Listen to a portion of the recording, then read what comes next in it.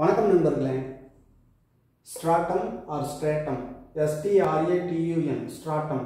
நான் social class சமுதாய வகுப்பு லேயர் ஆஃப் ராக் பாறை அடுக்கு. ஸ்ட்ராட்டம்னா அடுக்கு. எதையாவது ஒன்று அந்த மாதிரி குறிக்கிறது. பெரும்பாலும் மக்களை குறிக்கிறது சமுதாயத்தில் உள்ள மக்களை குறிக்கிறது stratum.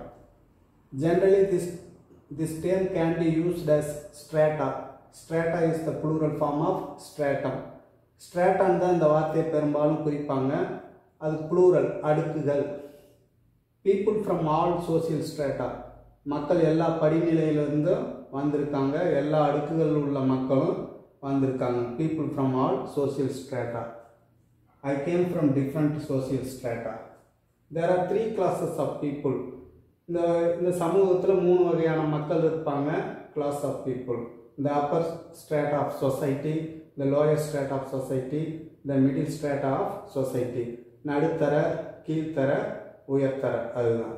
இப்போ ஒர்க்கர்ஸ்லாம் இருப்பாங்க ஒரு ஆர்கனைசேஷன் ஒரு கம்பெனியாக இருக்கலாம். அந்த மாதிரி இடத்துலையும் வர்றது. Semi skilled skilled unskilled strata ஸ்ட்ரேட்டான அடுக்கு. இன்னொரு அர்த்தம் அதுதான் அடுக்கு.